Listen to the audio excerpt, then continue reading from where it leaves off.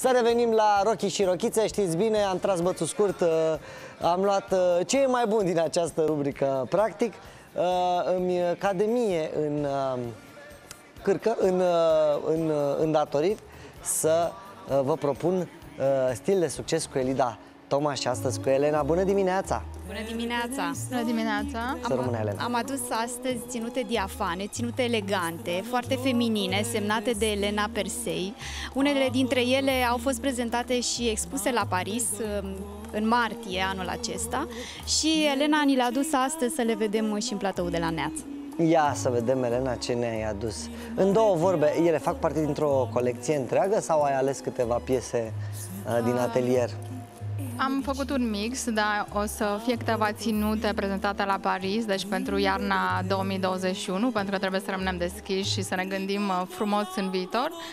Și uh, câteva piese actuale pentru vară, pentru acum, ca doamnele noastre să se simtă frumoase, uh, fluide, să simtă vântul, marea, soarele, nisipul. Niște piese foarte actuale pe care pot să le achiziționezi acum și să le porți acum, să te bucuri de ele acum, să trăi momentul. Hai să, să vedem uh, despre ce vorbim. Niciodată nu am auzit uh, un om de pe planeta Pământ, fie el femeie sau bărbat, zicând asta. Bărbații noștri trebuie să simtă soarele, marea, nisipul, diafanul. La fete, aoleu, uh, e toată? Deci asta e... Să știi că nu e transparentă um... rochia, doar ți se pare ție. Asta este o, o rochie pe care, îmi cer scuze că intervin peste tine, dar este o rochie pe care chiar uh, o ador. Tot timpul mi-au plăcut rochile cu spatele gol și să poți purta fără sutien, Bă. dar având nevoie de. Și atunci ele au susținere în față și uh, poți purta cu spatele gol, chiar dacă uh, ține loc și de sutien și în același timp ai această fluiditate uh, uh, finețe a mătăsii, Elena, în care sunt, corpul uh, se ghicește. Nu știu. Se ghicește, se ghicește. Uh, vreau să zic că suntem total de acord cu tine la această emisiune, să spunem un mare nu sutienelor, dar un mare da măștii. Uh, apropo de constrângeri, unde vezi, Elida, rochița asta purtată? Poate fi o rochie de zi, considerată o rochie de zi, cum spunea și Elena, dar și de seară, evident, în funcție de accesorizare. Da, este o rochie versatilă, depinde cu ce o pui, cu ce o încalți și o poți purta și la un cocktail și la un eveniment în aer liber. Și să știi că avem și măști, avem măști brodate în culorile rochilor, în general, măști din bumbac și uh, până la urmă dau destul de bine pentru că masca poate să fie pe lângă Uh, funcția ei uh, de protecție, poate fi și drăguță, poate fi și estetică la un moment dat și e bine să păstrăm această latură de frumos. Bă, asta este o, o rochie absolut superbă, inspirația este uh, fluturele, mariposa, deci când o deschizi are un uh, întreg patchwork de, în formă de fluture, asta a fost inspirația. Uh, mătasea cred că este absolut uh, adaptată la genul ăsta de Rocky. Unchiul de mătase mai precis. Și cu ocazia asta cred că simți și tu puțin vântul, soarele. Da, da, nu simt cât costă cina deja la Santorini. Parcă văd uh, la Santorini să o iei, să o duci uh, cu scuterul, să o pui să-și strângă poalele în brațe ca să nu-i fâlfâie fâl, fâl, fâl, fâl, fâl.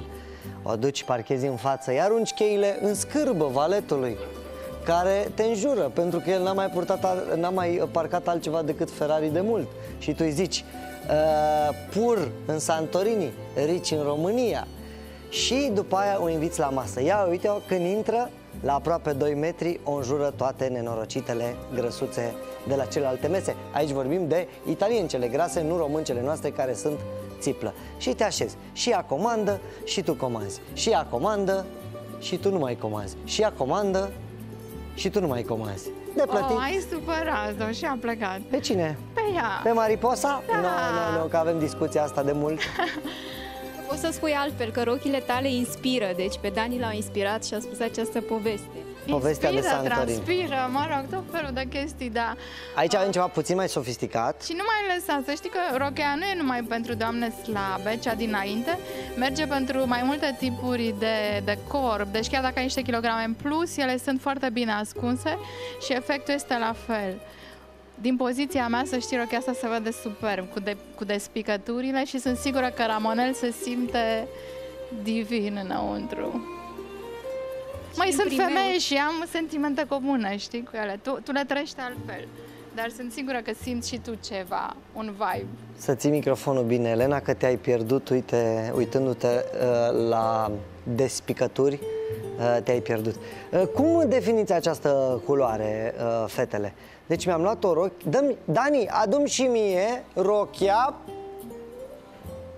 de, Imprimată. de culoare. Imprimată. Este un imprimeu animal print adaptat, nu? Că eu văd acolo și ceva... Multicolor, sunt două Da. combinații. Adun rochia multicoloră cu ciucurei, aș zice Exact, eu. și cu dantelă pe spate, Da.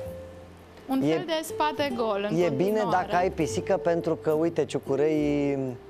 Uh, Sunt un punct de atracție, Bu- clar. bucuria pisicuței. Unde vedeți această rochie, fetelor?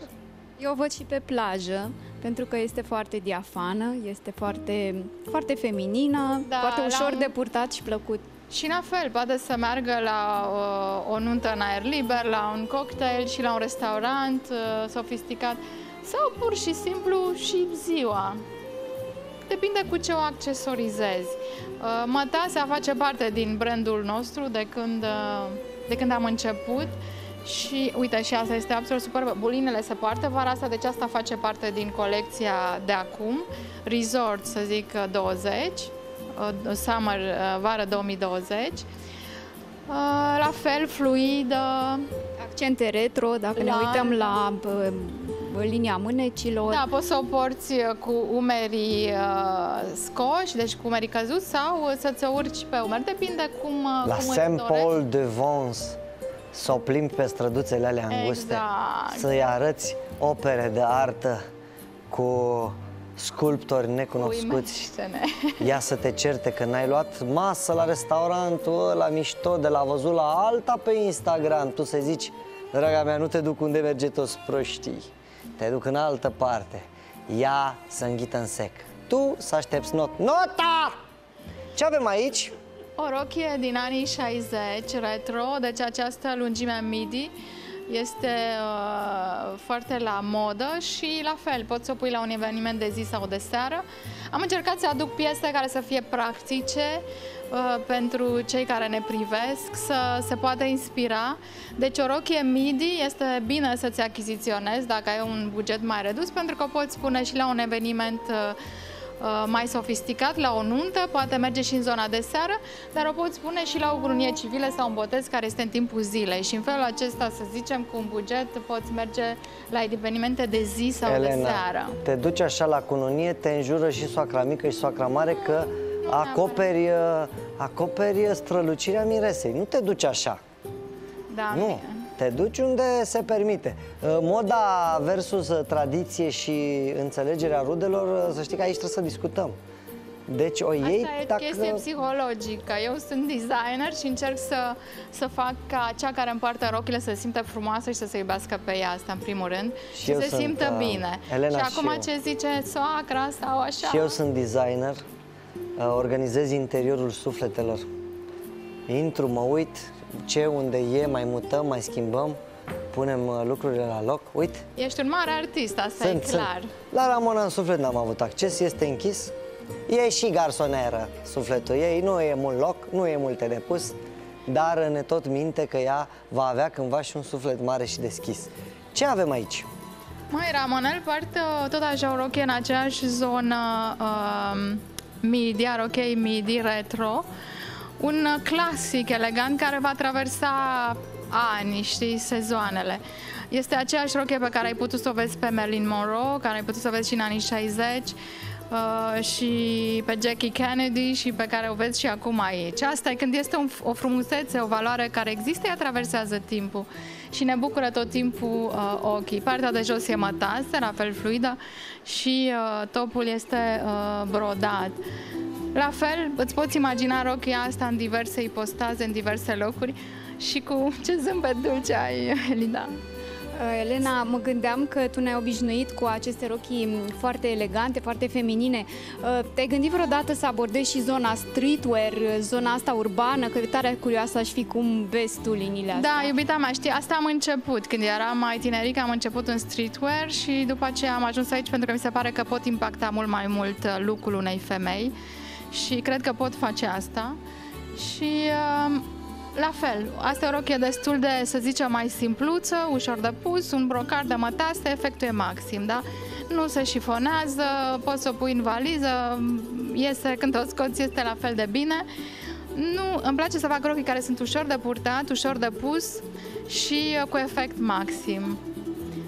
Iar mătasea face parte din uh, arsenalul, să zic, colecției mele și am încercat să aduc de data asta lucruri un pic diferite, ca să avem o, o paletă destul de largă și să ne putem inspira, să putem visa.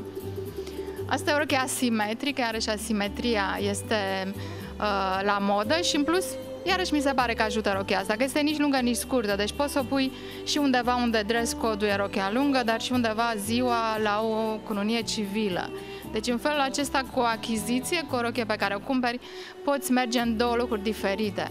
Pentru că ce mi se pare important în, în situații un pic mai speciale, să cumperi inteligent, deci să nu ai această cumpărare compulsivă și să te gândești puțin înainte. Și în momentul în care uh, îți iei ceva care are deja un material de calitate, un design căutat și o poți pune în câteva locuri, deja ai câștigat din start și după aceea te uiți, bineînțeles, și la preț.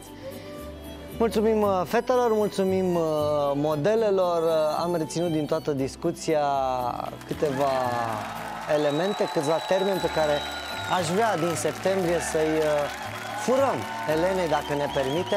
Sper că ați ciulit urechile. Andrei, a scrie așa, din septembrie vom vorbi ca și Elena Persei, adică iubita mea, draga mea, Ramonelu, superbă, minunată, ai un zâmbet, cum ți-a zis? Foarte dulce. Ai un zâmbet foarte dulce. Băi, aici te, ți-a zis un coleg asta, ai un zâmbet, ai o fustă cu dulceață. Aici suntem noi în momentul ăsta. Aici cu exprimare, ai o fustă cu dulceață. Tavarai, tira, aici suntem noi. Bă, Elena, bum, ai un zâmbet foarte dulce. Mulțumim fetelor, mulțumim Elena, mulțumim. să mai vii. Pentru mine a fost terapie. Iată, plus că Zici că era Răzvan. Tot ce a făcut ea este senzațional. A văzut, nu? Cum apărea o roche? Păi tu ai făcut-o, logic! Iată și această superbă...